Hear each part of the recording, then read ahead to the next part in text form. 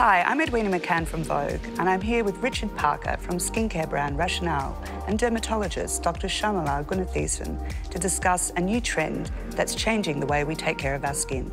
So, we've been hearing a lot about genetics in the media, but tell us, where are we at? So, genetics is really the blueprint of our life. Um, we're born with it, it gets handed down by our parents. But until recently, we thought, that's it, we can't change things.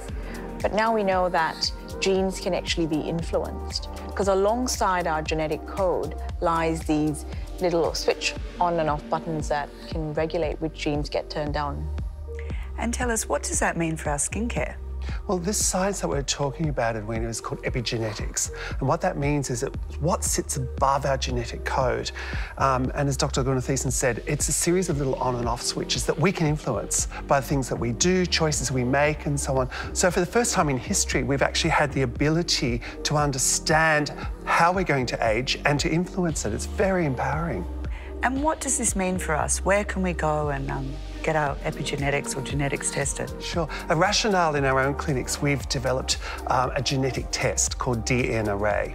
And what happens is you, you come in and we take a little swab inside of the cheek and we analyse the genetic material that's obtained. And from that, we get a blueprint of your skin's genes. We understand how you're going to respond to the sun, for example. We understand if you're going to have sensitive skin or if you're going to develop pigmentation.